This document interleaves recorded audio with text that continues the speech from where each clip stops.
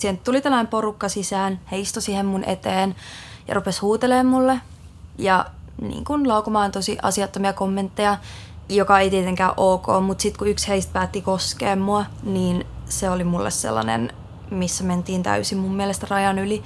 Ja mä olisin toivonut, että siinä olisi ollut joku, joka olisi puuttunut asiaan tai edes niin ollut läsnä. Se, että siihen ei tule kukaan väliin, mutta huomaa, että ihmisiä on kuitenkin ympärillä tosi paljon, tuntuu tosi yksinäiseltä ja ehkä jopa vielä pahemmalta, koska sen vaan annetaan tapahtua.